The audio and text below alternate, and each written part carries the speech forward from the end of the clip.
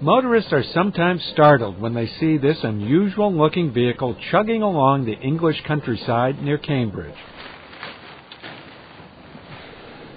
This noisy piece of automotive history is an 1884 De Dion et Bouton and Trepardoux personal steam carriage.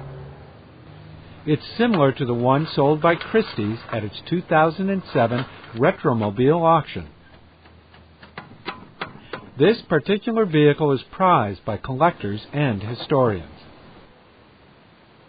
The Dion here is, is particularly um, special in that uh, it was made before Daimler and Benz invented the petrol engine car. Um, Daimler and Benz both produced their vehicles in 1886 and um, the Dion steamer was made in 1884. Uh, I've been running the car now for 14 years, and uh, I think even the most eminent of uh, historians uh, accept the fact that this is the oldest running car anywhere in the world. There's nothing older, and that is it the oldest vehicle capable of running on the roads legally in the world. Like many early automakers, De Dion was surrounded by skeptics. Count de Dion in France, who was experimenting with steamers and then later internal combustion cars, was passionate about trying to develop this.